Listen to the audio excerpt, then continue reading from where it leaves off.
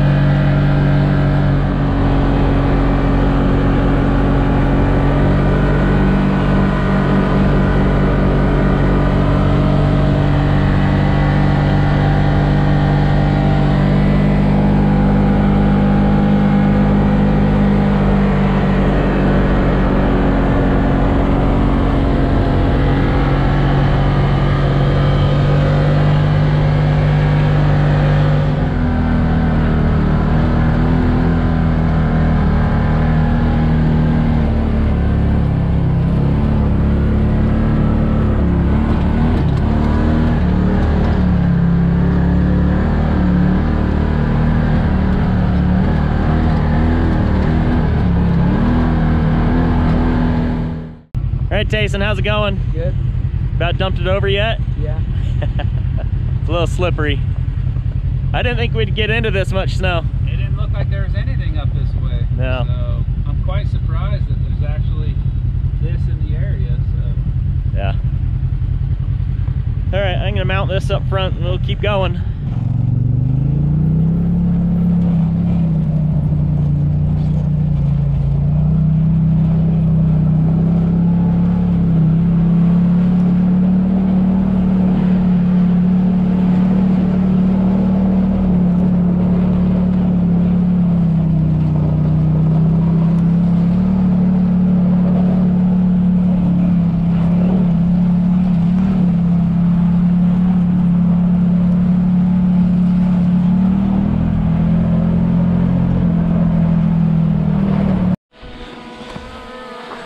Finally get it, Dave? Finally. Dave was standing clear over here, and I told him, "Don't get any closer. We don't want you to fall. I don't want to lose that drone." I'm so glad he was so concerned for me. So as you can see, a little bit more snow out here than we thought from looking from town, that's for sure. But there's definitely some nice scenery out here. So guess we'll get in and uh, see how that thing tracks, huh? Yeah.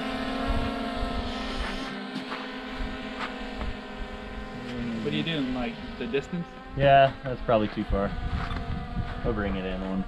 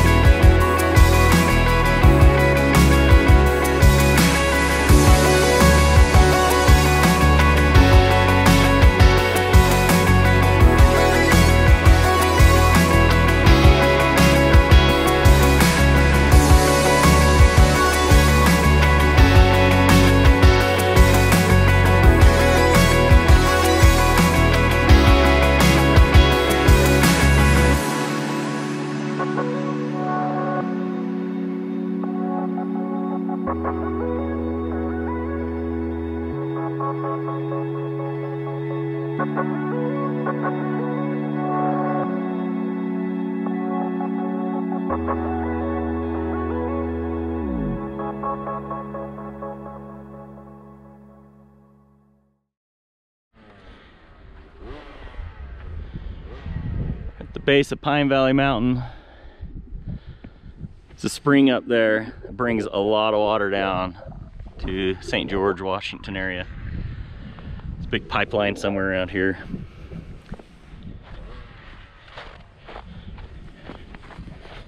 Tayson's on the motorcycle. We probably were a little ambitious on what he can do in the snow. So, uh, They're both so slick. Yeah, I can see that. Like track, You better watch out. Oh, it's Garrett.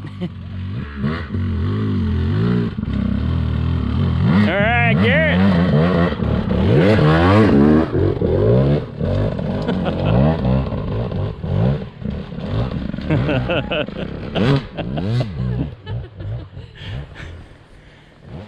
Where's Tayson? I think he's walking. Oh my gosh. It's pretty steep right there. It's slippery. Sliding all over. Sorry, Tayson. you okay? Yeah. All right. He can barely walk out there, right? Tayson doing. He's walking up. Hey, we got some hot chocolate we can make. Dude, we're that's Sand Hollow. Yeah, we're That's So crazy. picking up a lot of people out there. We'll have to change radios again. You hold this, and I'm gonna go down and get this.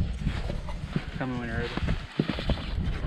All right, so uh, how'd the drone do? Since we got we got caught up back there, Tayson went down, and we freaking slippery as heck in that two-stroke, and trying to keep it revved quick enough. Did the drone track you guys all right? Yeah, did a good job.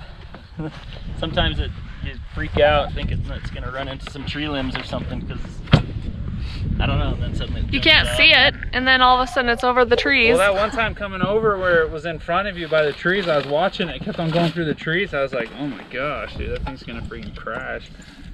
Yeah, we we discovered what happens when it gets low on battery. Oh, what happened? I kept checking the beacon and I thought it was saying 10% battery. No, it was Uh-huh. at 1%. And then, And then it said it was landing. you're like, and I well, had where's no the idea. I didn't know where it was. I jump out of the side by side with my headset still on. I'm like, so I, I take the headset off and I can hear it. It's right here. And then it was just like 10 feet off the side, but up the embankment and like uh-huh. hovering. And then like, cool, I can go catch it. But no, it just landed in the powder. Wrapped a weed up in the props, but I'm, I'm telling good. you right now, uh, when you spend that kind of money on drones and you can't find it, like when we're at the motocross track and all of a sudden it said lost connection and I can't see it anywhere, I thought you're gonna die. you get a little paranoid. Is this part of your overlanding trailer supplies? No, actually, no. Just I- tell him how awesome your wife is right now. she got up and she was working out and she told me she was going to go for a walk so Working out a definition or a word that Dave and I definitely do not. i don't know what that means really but how the fuck did that come out but uh i So guess What is this thing? it's, on it's like a stove, like huh? a Jetboil if you know what that is Um, it's a jet and it boils. yeah basically but she went and bought me a birthday present and she got home and she's like i can't wait to give it to you do you want it now because my birthday's not until sunday Well, the Uh, thing is, you cook right in the pan then, and then store it in there too, huh? you can yeah Like it's like a one-stop shop. so We figured we'd do some hot chocolate because we'd probably Dave's be cold. really good with like um, herbal tea, so he just goes around and picks leaves off and boils them. again He's like insane, like survival man over here. right. put Bear Grylls to shame and all those other fools, whoever they are. Well, Oh, see if you get crap. it lighted. I, I mean, need I'm the water that's gas. in there. What water do you need? I got some bottles. Here. Let's grab it. Probably gonna need another one. We need a table as well. And why didn't you get me a table too? It's already maybe boiling or it's at least steaming hot. Hot enough for Whoa. chocolate. Let's dump all of our hot water out. Hot enough to dump boiling water all over myself.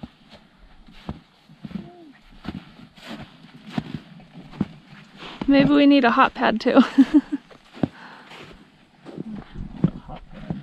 Just wondering how you get that off. Just turn it. There you go.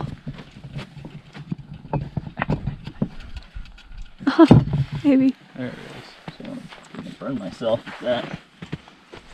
Try and get about two cups worth in there.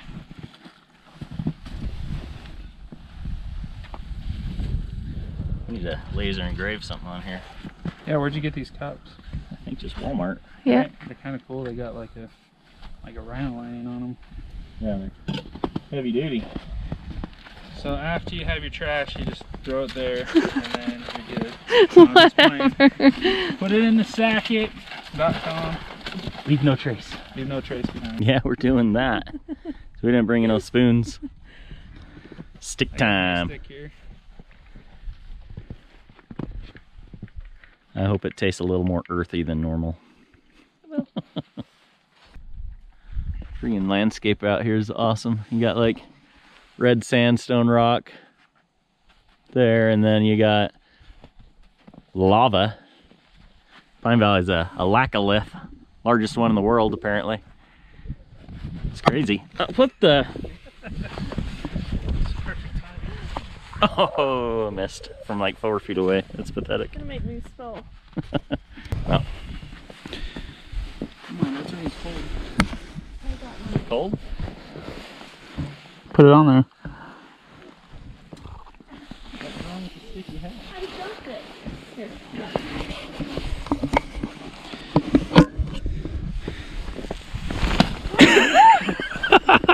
Ow! Dude, that's like an ice ball. Well, Natasha said it's perfect snow for making snowballs. It is. Did you like sit on that and really compact it or what? Tayson did. And then he put it on his pipe and melted the edge a little bit so it's more ice. Water on there, packing it tight. Seriously. Oh yeah, that hits the spot. Still good, man. I think I did pretty good. It's really good. Hot, sticky.